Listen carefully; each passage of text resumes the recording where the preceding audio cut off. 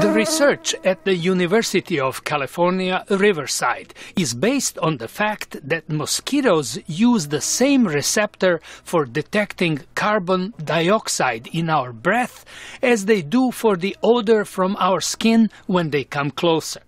The lead investigator, Anandasankar Ray, says scientists tested more than a million chemical compounds until they found a substance called ethyl pyruvate that shuts down the mosquito's receptor. When we apply ethyl pyruvate to a human arm and offer it to the mosquitoes, hungry mosquitoes in a cage, then very few of the mosquitoes are attracted to the human arm because only a few of them are able to smell it out. Genevieve Tauxe, also on the team, says finding the mosquito neurons that detect both our breath and skin odor was not easy.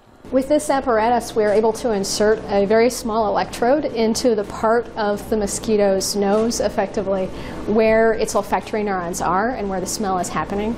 With these instruments, scientists were able to detect the signals that the mosquito's neurons send to its brain when it senses attractive odors. Spikes on the computer screen show when the attraction is strong or weak.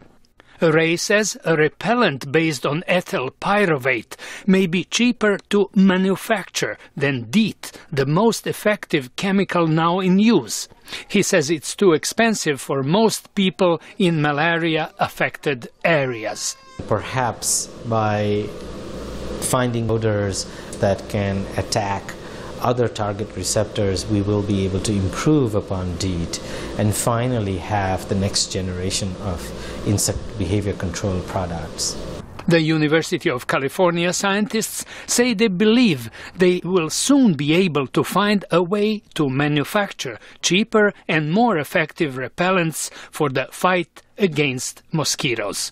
George Putic, VOA News, Washington.